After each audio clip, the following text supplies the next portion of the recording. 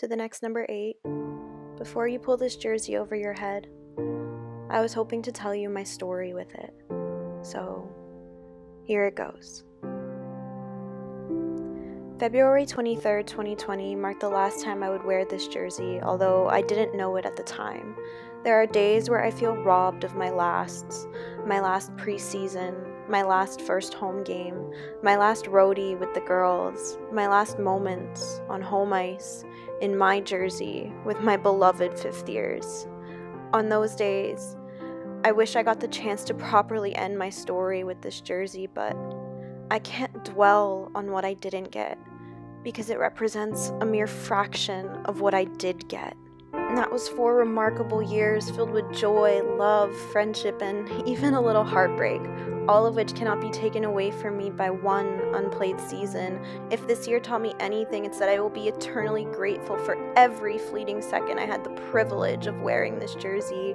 It was not easy. I poured my heart, my sweat, my tears, and probably a little bit of blood into this jersey, but I am beyond grateful for every sacrifice I made, for every 5 a.m. wake up call, for every time I almost puked after the beep test, for every puck shaped bruise on my leg, for every time my body ached horribly after a two game weekend, but you know what? I would do it all over again in a heartbeat.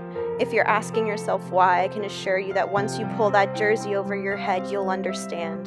You'll understand that no matter how much you give to wear this jersey, nothing compares to what it gives you in return. I don't have enough paper to write out everything this jersey gave me, but if there's one thing, it gave me the chance to grow into the person I am today. The young woman who took off that jersey on February 23, 2020, is a far cry from the girl who pulled it over her head in 2016. I am so proud of her story and of who she became while wearing number 8. Finally, I won't say goodbye to this jersey because it will always be a part of me.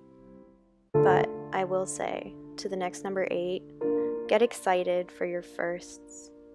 Be mindful of your lasts and cherish every moment in between. It's going to be a whirlwind of a journey, and before you know it, the dust will settle, and you will be the one to take off this jersey for the last time.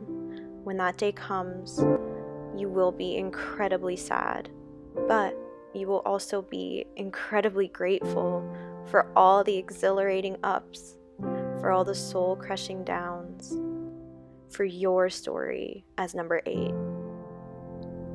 Sincerely, Alex Nikolidakis, former number eight.